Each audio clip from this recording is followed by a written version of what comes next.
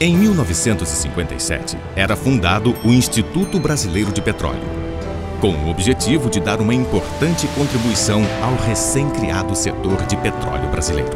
Essa contribuição cresceu e tomou forma cada vez mais definida. Em 1974, o Instituto modernizou sua marca para acompanhar as mudanças.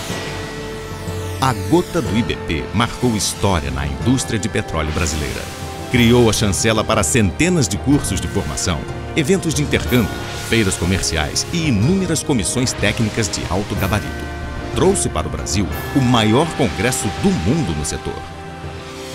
Essa gota representou a alma do Instituto em seu primeiro cinquentenário. Simbolizou o empenho e a energia dos profissionais do setor. Mas para acompanhar a grandeza do Brasil, precisou crescer e se ampliar. Surgiu a importância do gás natural para desenvolver o país com uma energia mais ecológica e limpa. As pesquisas brasileiras mostraram também o potencial do país para a energia renovável dos biocombustíveis, hoje exemplo para todo o planeta.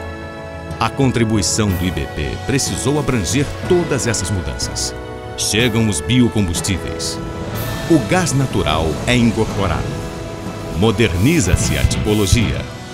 A razão social é ampliada. Instituto Brasileiro de Petróleo, Gás e Biocombustíveis. E no âmago, na essência completamente intacta, sem nenhuma alteração, está a gota original, a alma do IBP.